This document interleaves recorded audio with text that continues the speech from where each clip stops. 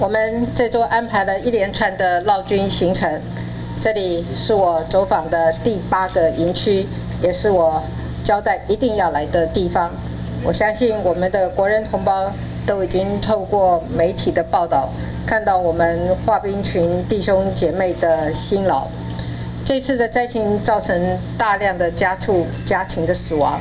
那么这些问题如果没有用最快的速度处理，很可能就会演变成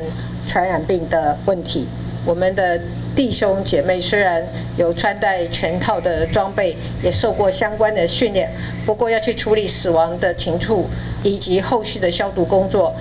都是很不容易的事情。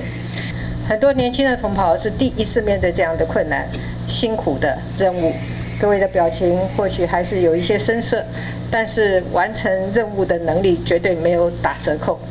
各位用真正的行动证明，我们的国军就是战力强的部队。在八月底豪雨肆虐的那段期间，三九化学兵派遣了将近九百人次的兵力，成功的执行台南、高雄的民众的撤离、禽畜的清理以及环境消毒等工作。各位在这段时间的努力，一定会成为你们一辈子的光荣的回忆。在座的各位，许多人是参与这次救灾的弟兄姐妹，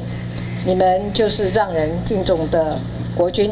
我也要利用这个机会，祝我们在场所有的弟兄姐妹，我们国军同胞，那么大家中秋节快乐，谢谢。